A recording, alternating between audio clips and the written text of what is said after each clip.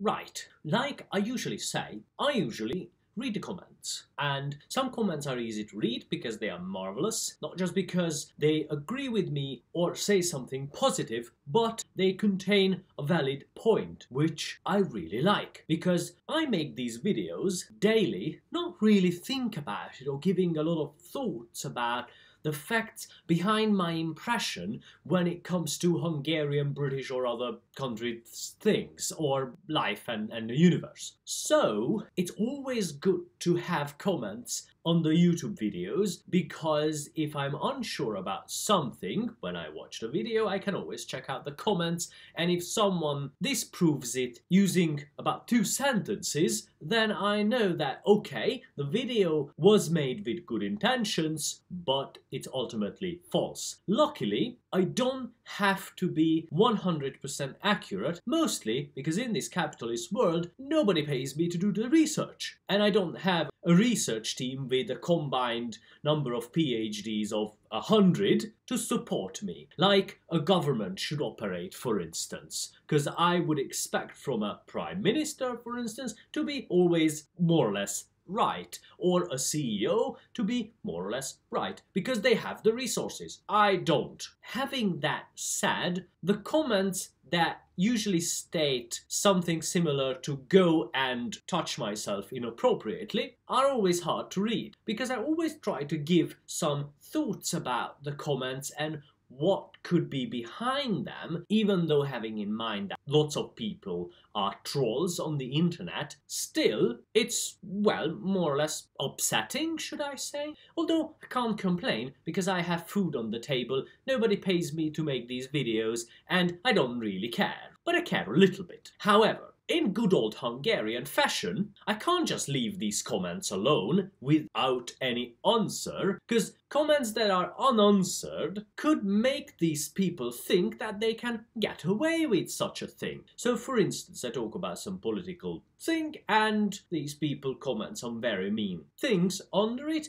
so what could be the appropriate answer? Well, reciprocating the wishes of death is always a good thing to do. However, these comments sometimes inspire me, because since these almost always come from Hungarians, because it's within Hungarian culture that I don't have to disprove you, but I just tell you mean things, while in English culture, usually people expect some sort of explanation with the blame. Now, while I do not wish to bash Hungary unreasonably, it's a fine country, it has its faults and it has its good things in it.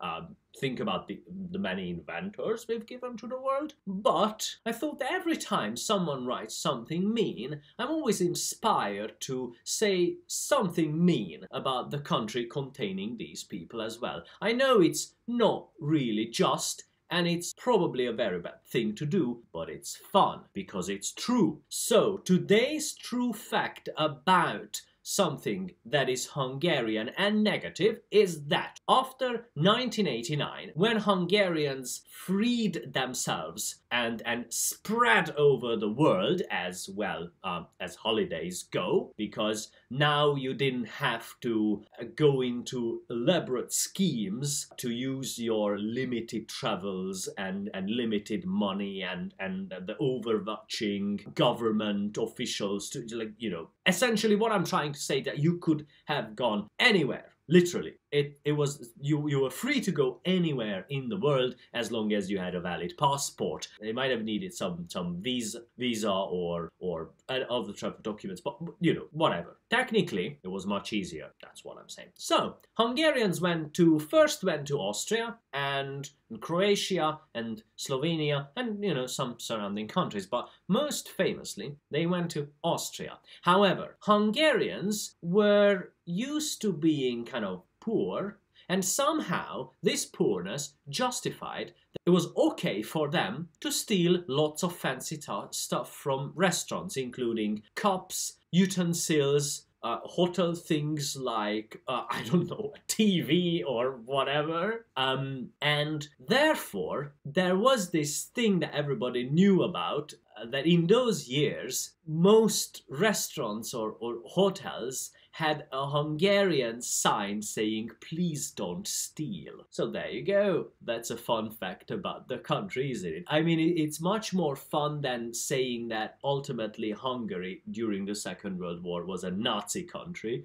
but um, and not even something like you know when when it was forced into something. No, it, the government decided. I mean, not the people. By all means, whenever I say something negative, I never mean people individually but the country and its reputation. Feel free to bash me on that one, although, um, as I usually state, these are just impressions and not cold hard facts, although it's very, very hard to deny that the stealing stuff was a thing. Why was that a thing?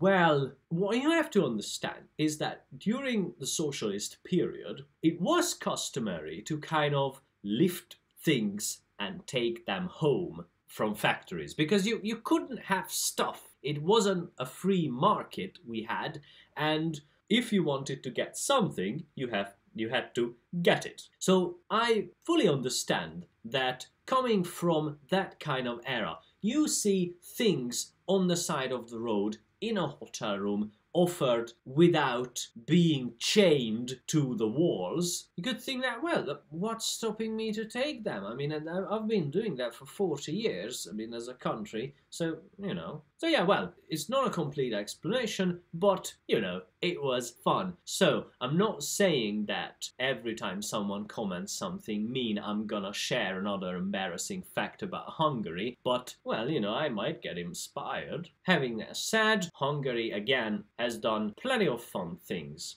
In the future, probably I want to talk about all the fun things that we did and the world benefited from them. Thanks for watching and have a fun day. Goodbye.